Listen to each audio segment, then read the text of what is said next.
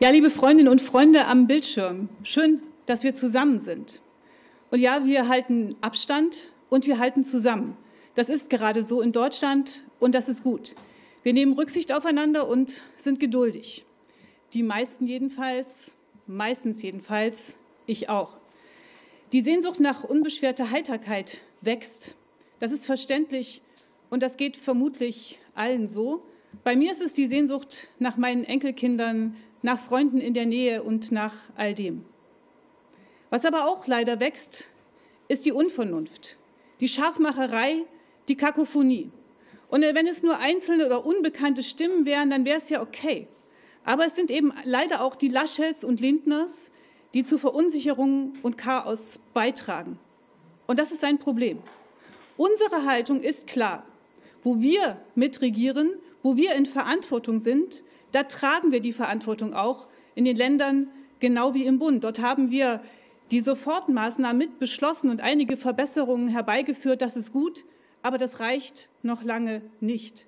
Deswegen, wir sind konstruktiv und kritisch. Es fehlt an so vielem. Es fehlt an Zusagen an die Kulturschaffenden, bei der Kurzarbeit an Verbesserungen und an Verbesserungen für die Kinder zum Beispiel. Und vergesst die Klimakrise nicht. Wir müssen jetzt aufpassen, dass wir in Zukunft nicht mehrere Krisen gleichzeitig haben. Eine Pandemie auf der einen Seite, die Klimakrise, Anstieg der Weltmeere, das Artensterben auf der anderen Seite. Nach der Krise kann nicht sein wie vor der Krise. Und ich sage bitte, kein Zurück in das davor, kein Zurück in die fossile Zeit, kein Zurück mehr in alte Egoismen, in Nationalismen, kein Zurück. Was wir jetzt brauchen, ist Zusammenhalt und Zusammenstehen. Und dazu in aller Kürze vier Punkte. Wir werden die alte Form unseres Wirtschaftens überdenken müssen. Nur so kommen wir mit der Wirtschaft auch wirklich wieder in Schwung. Anständiges Wirtschaften ohne Ausbeutung von Menschen und Natur. Stärkung regionaler Kreisläufe, europäisches Denken und Handeln natürlich, globale Solidarität. Es kann keine keine Konjunkturhilfe geben aus der Krise heraus ohne mehr Nachhaltigkeit, mehr Umweltschutz und mehr Klimaschutz, liebe Freundinnen und Freunde. Europa muss unabhängiger werden. Es kann doch nicht sein, dass wir monatelang keine Schutzkleidung haben. Susan hat gerade darauf hingewiesen.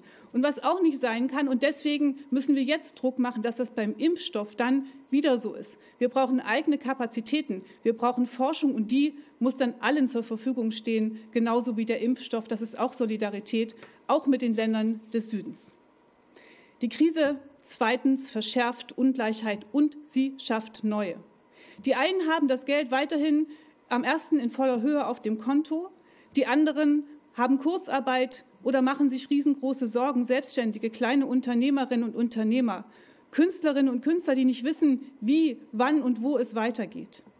In noch größerer Not sind diejenigen, die sowieso schon in prekären Verhältnissen gelebt haben. Was der Bundesregierung gerade einfällt, ist, die Armspeisung kommt jetzt nach Hause. Das ist nicht fair und das ist auch nicht anständig, liebe Freundinnen und Freunde. Was muss denn sein, wenigstens jetzt in der Krise etwas auf den Regelsatz draufzutun? Das wäre normal. Ein Zuschlag für die Pflegekräfte, das ist jetzt gut und richtig, aber sie brauchen eben auch dauerhaft mehr Geld und dauerhaft bessere Löhne.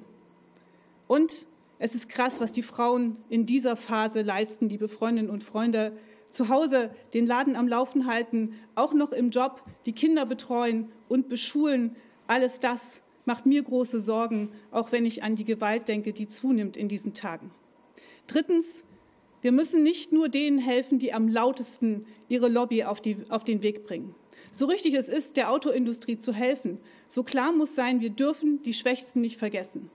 Und vor allen Dingen diejenigen auch nicht, die einem nicht jetzt Garten und Terrasse haben. Nicht alle können in dieser Phase einigermaßen frei leben. Den Kindern geht Corona auf die Nerven, zu Recht. Und sie müssen jetzt wieder regelmäßig, wenn auch mit Abstand und allen Hygienevorschriften, ihre Freundinnen und Freunde, ihre Erzieherinnen sehen und ihre Lehrerinnen. Und den Alten geht Corona auf die Seele. Sie sitzen häufig ganz allein im Alten- oder Pflegeheim und wissen nicht mehr, was ihre Zukunft bedeutet.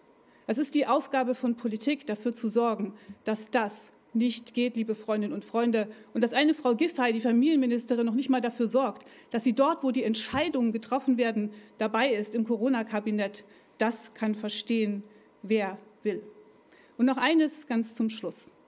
Corona kann nicht überdecken, dass die Hass und der Hetze weitergeht. Die Populisten und die Verschwörungstheoretiker haben keinerlei Antworten. Und mich besorgt, dass Wissenschaftler, verantwortungsbewusste Wissenschaftler wie Professor Drosten bedroht werden. Mich besorgt, dass gestern hier in Berlin ein Team der Heute-Show attackiert wurde. Das ist ein Angriff auf die Demokratie. Wir werden wachsam sein und wir werden wachsam bleiben.